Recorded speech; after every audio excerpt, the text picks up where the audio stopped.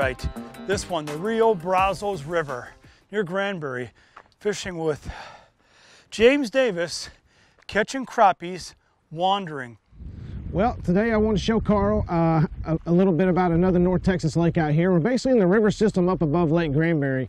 Uh, what these fish do this time of year is they like to migrate up there and they really don't like to get on anything. They'll get out here in just the middle of the water column and suspend. I mean, some of these fish will catch three foot under the water. Some of them will be just a couple foot off the bottom.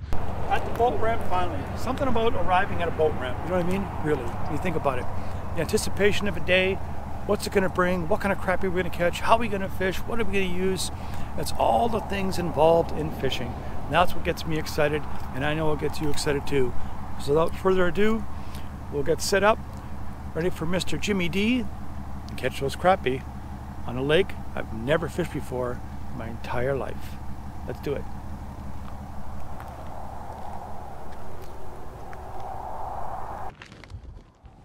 Black and chartreuse.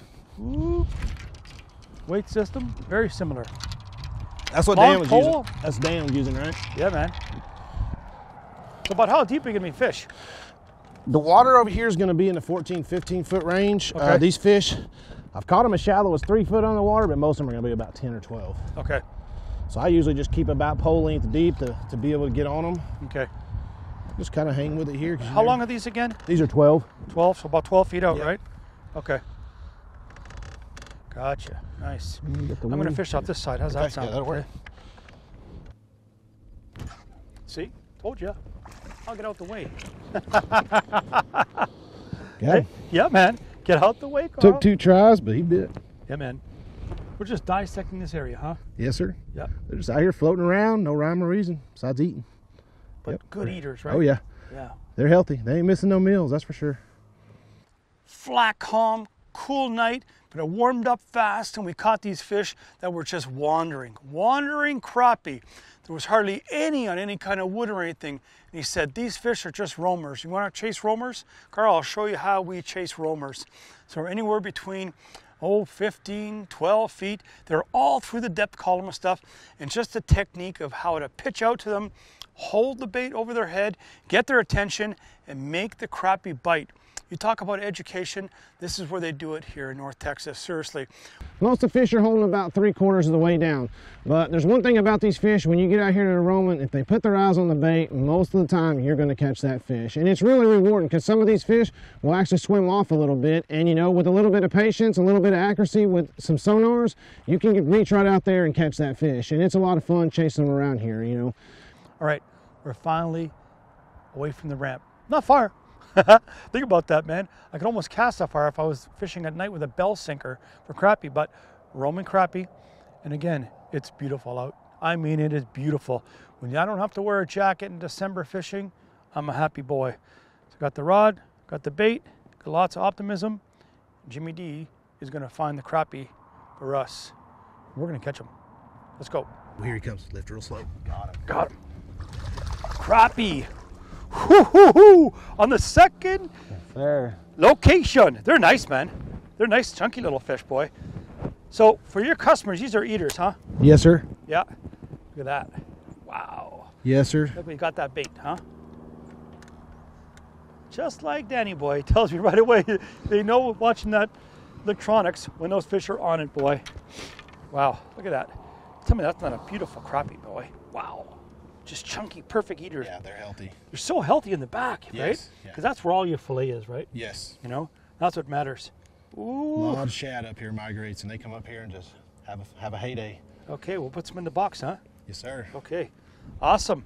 When those fish get ready to migrate in December and stuff, you got to be willing to move, and we did that. When we didn't go far from the boat ramp, trust me, like the boat ramp was maybe a, a stone's throw away, but it goes to show you don't always have to go to the other end of the river or lake to catch them in Texas. We stayed close. We caught some really good fish, soft plastics, right below the boat sometimes, but most times it was just pitching out a little bit. When we saw those bright shadows or lights on the sonar, fished individual fish, we each took a turn and we caught them. Yeah. Good one. Crappie? Oh, yes, James. There we go. I love when they don't move at first, Yeah. eh? Isn't that awesome, Yeah, dude? It took a second to budge him. Yeah, but you do it all the time. Oh yeah. But when I see how they don't move, you know, that's a good nice feeling. fish. Oh, yeah. Yep, we'll take him. You try to be evasive, but you, you stick with it on them, catch them. That's one thing I learned about these Texas guides, boy. When the crappie tries to swim away, it's just like the roadrunner. You can try to run, We're going after but after the you. roadrunner's going to get after you. meep, meep. It's true. I've chased them a long way. Yeah, man. That's awesome, dude. I was fishing the uh, hotchicken.com. Uh, Karl had the black and chartreuse on. Uh, the first couple fish I dropped on, they didn't hesitate. When they put their eyes on it, they ate it. He had one, they come up there and we had a couple of them nip it and a couple of them miss. So that told us right away we need to make a chother change. And as soon as we did, it was game on for Karl. Every fish he dropped on came up there and put their mouth on it. So that was kind of the difference in catching fish or not. They were really keyed in on that color today. So Got him. Yes, sir.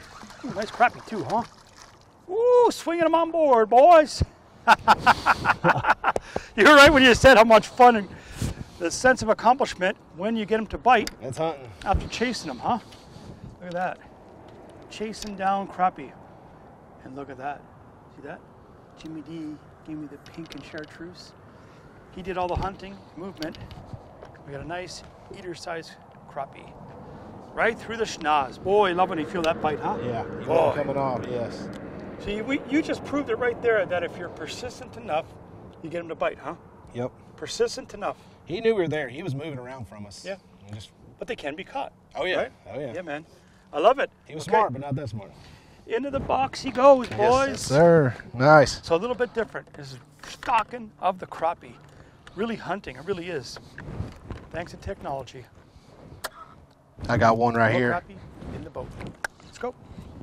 Bottom. But that's what you can expect with Jimmy D from Davis Guide Service on the Brazos River because it is Rio Brazos on the crappie machine.